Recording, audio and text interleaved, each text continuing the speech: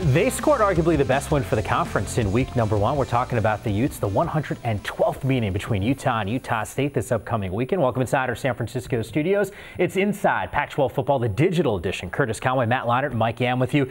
Mentioned it was a big win for this Utah squad yes. against uh, Michigan. What stood out to you in this one? Well, first of all, I'm going to go back to they can't have the big game hangover. Yeah. I mean, it was a lot of hype going into this game. Harbaugh coming to town, Utah at the house. For me, it, it was just the way they handled everything. You know, it wasn't about. I mean, I remember Devontae Booker saying. Yeah Jim Harbaugh wasn't on the field playing. It's about yeah. the players on the field. And so the way they approached that game was was definitely on the right pace. They went out there, they did what they had to do. I was shocked that they slowed down Booker, but then you kind of expect when you got a guy like Devontae Booker coming back, you're going to stack the right. box and force Travis Wilson to beat you. I thought, I mean, passing wise numbers, the numbers wasn't great, but I thought, Matt, I thought he played an excellent game. I, I really want to see this week them really get Booker going. Michigan's defense was good in the middle, and they were going to take away Devontae Booker and, and force Travis Wilson to beat them. I thought the game plan was great because if you guys remember, I mean, the first three plays of the game, Travis Wilson ran the ball. So,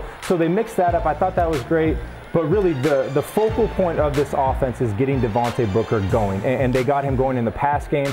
But I expect this week uh, they shouldn't have a problem with Utah State. You never know how these games go. But get the big horse going as they get ready for Pac 12 play. Yeah, they should be able to. Yeah, they should. You never know. Team. But as you mentioned, I mean, right. we saw some wild finishes in week number one, and it's still early in the, uh, in the upcoming, or I shouldn't say upcoming, because we are still in the current now season. It felt like there was all this buildup. But yeah, it's week number two already.